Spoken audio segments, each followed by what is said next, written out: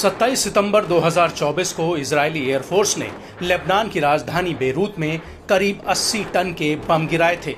ये बम बंकर रोधी थे,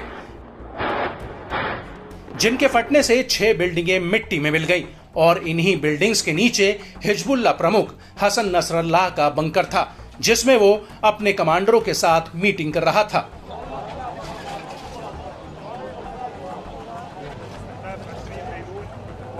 लेकिन बड़ा सवाल यह है कि इसराइल को हिजबुल्ला चीफ की सटीक लोकेशन के बारे में पता कैसे चला?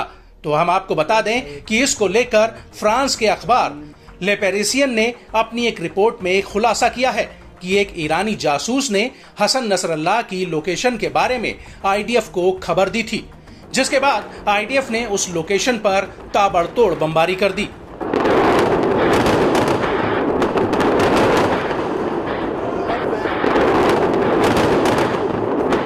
और इस हमले में नसरल्लाह के साथ दक्षिणी कमांड के मुखिया अल कराकी के साथ कई टॉप कमांडर मारे गए। फ्रांस के अखबार ने लेबनान में अपने एक सूत्र के हवाले से कहा कि ईरानी जासूस ने इजरायली अधिकारियों को ये जानकारी दी थी कि हसन नसरल्लाह कई टॉप कमांडर्स के साथ बेरूत के उपनगरीय इलाके में एक अंडरग्राउंड बंकर में जाएगा और इसके बाद इजरायली सेना लेबनान के समयानुसार सुबह करीब 11 बजे ट्वीट करती है कि हसन नसरल्ला अब दुनिया को आतंकित नहीं कर पाएगा। और इसके बाद हिजबुल्ला ने नसरल्लाह की मौत की पुष्टि कर दी थी। वहीं अमेरिकी अखबार द न्यूयॉर्क टाइम्स में छपी एक रिपोर्ट के मुताबिक हिजबुल्ला के साथ 2006 में युद्ध के बाद आईडीएफ ने अपनी पूरी ताकत हिजबुल्ला के खिलाफ एक जासूसी तंत्र बनाने में झोंक दी थी, जिसकी वजह से उसको हाल ही में हिजबुल्ला के खिलाफ बड़ी सफलताएँ मिली। क्योंकि 2006 का युद्ध करीब एक महीने तक चला था और उस वक्त नसरल्ला किसी तरह से बच गया था।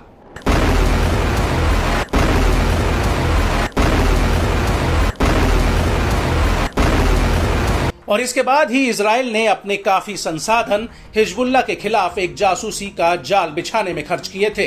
आईडीएफ की यूनिट 8200 सिग्नल एजेंसी ने हिजबुल्ला के सेलफोन और अन्य संचार साधनों को इंटरसेप्ट करने के लिए बेहद ही ताकतवर टूल बनाए। इस यूनिट में कॉम्बैट रेंज के अधिकारी शामिल किए गए, जो ज़रूरी सूचना तुरंत सैनिकों और एयरफोर्स के साथ साझा कर सके।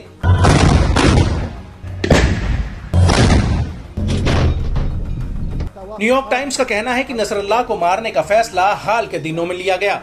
और अमेरिका को ये बात नहीं बताई गई, क्योंकि इसराइल को डर था कि कहीं अमेरिका को बताने से नसरल्लाह को मारने का मौका हाथ से न निकल जाए।